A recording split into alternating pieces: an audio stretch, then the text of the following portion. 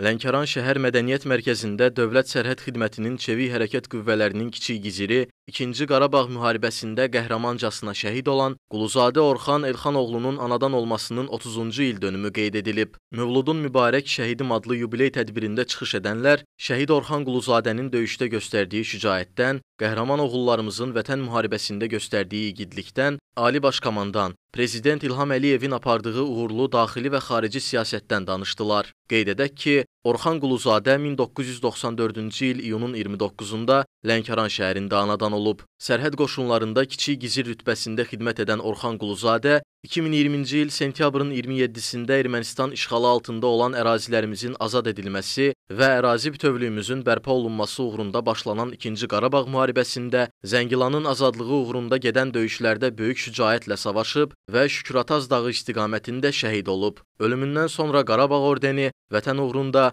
Zəngilanın azad olunmasına görə medalları ilə təltif olunub. Orxan igid, sözün əsl mənasında doğrudan mükəmməl igid kimi böyüyüb, igid kimi yaşayıb, igid kimi də dünyasını dəyişdi. Orxan məktəbi qutaranda da Orxanın köynəklərində igid yazırdılar. O vaxt dərk eləmirdim, amma indi görürəm ki, Orxanın igidliyi pik nöqtəsindəymiş. Orxandan fəxr eləyirəm. Nə qədər ömrüm varsa, Orxandan fəxr eləyəcəm. Orxan özü dediyi kimi ki, ana siz mənlə fəxr eləyəcəksiniz. Bax yenə də fəxr hər dəfə də mənə deyirdi ki, ana sən kəşfiyyatçı anasısan. Kəşfiyyatçı anası kimi də yaşamağa davam eləyirəm.